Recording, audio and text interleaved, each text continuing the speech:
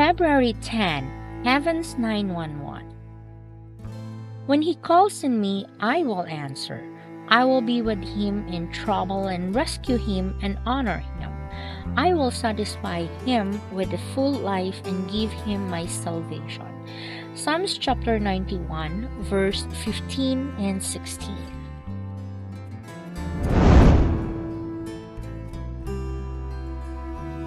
A contemporary Christian singer, Eddie DeGarmo, sings a song titled Heavens 911. It tells a person's heading down his life's highway in a wrong direction. Then the person realizes he can call on Jesus any time of the day by offering a quick prayer. We too can have a direct line to Jesus anytime, anywhere, and at any place. Jesus knows our needs and wants even before we ask. He is waiting for us to come to Him and tell Him the desires of our hearts. My friend Joyce, a diabetic who lives alone, wears an emergency safety button.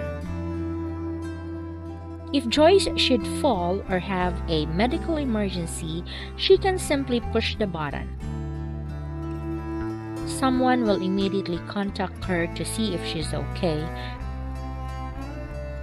Needs an ambulance dispatch to come to her aid, or needs her son to be contacted to come and help. This emergency button option is reassuring not only for Joyce but also for her loved ones, knowing that she can summon help. Have you ever wanted to talk to someone important? Perhaps the president of a school or a bank or even the United States.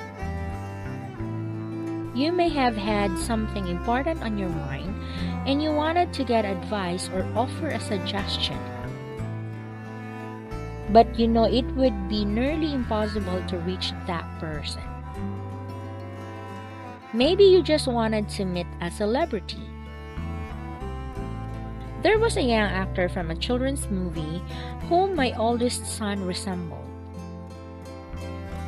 Once I asked my son, about 10 years of age at that time, to stand by the television. I stopped the movie on a close up of the young actor that my son resembled. I took a picture of the both of them and submitted it to the movie company. A few weeks later, I received a reply from the company, a form letter inviting us to join this young actor's fan club, but it made no mention of my son's resemblance to the young actor. On this earth, we may not be able to have a direct connection with everyone we wish. However, we can have a direct connection with God and His Son, Jesus Christ, our Creator and the King of the universe. I know it's hard to fathom or imagine that when we get to heaven, we will communicate with Him face to face, having no more need for 911 calls. I like to make lists. Perhaps I will make a list of topics that I want to discuss with him when I met him on the sea of glass. How great that will. Galmon Bateman